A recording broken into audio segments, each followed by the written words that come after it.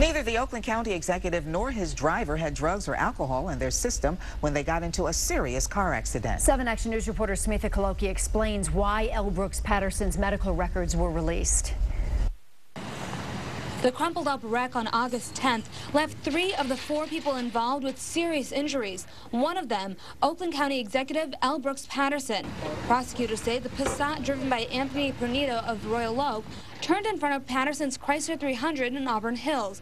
Pernito has been charged with causing the accident, but Patterson's attorney says the blame is unfairly being shifted to him and his driver, former Michigan State Police Trooper James Cram. In addition, it is my opinion that the criminal defense attorneys representing Mr. Pernito have attempted to create, through innuendo and innuendo only, a belief that alcohol was somehow involved. I never suggested any type of uh, innuendos whatsoever of alcohol being involved Limited medical information released by Patterson's attorney shows neither alcohol nor illegal drugs were in either the driver or passenger system at the time of the crash. Still, Pernito's attorney, Josh Nushin, says Cram might be to blame and not his client.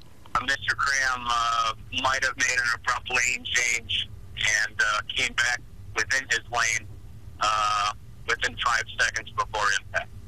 Patterson is in his third phase of rehab, now working on his ability to walk. His driver, James Cram, remains hospitalized with serious injuries. The passenger in Pernito's car, who was the only one wearing a seatbelt, is recovering from a broken pelvis. Patterson's attorney says they plan to take legal action in civil court against Pernito and his employer CVS since he was on the job at the time of the accident. There will definitely be a claim for damages made on behalf of Mr. Patterson and Mr. Cram.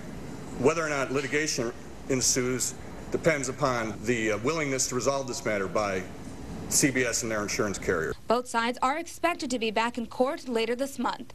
From Waterford, Smitha Koloki, 7 Action News.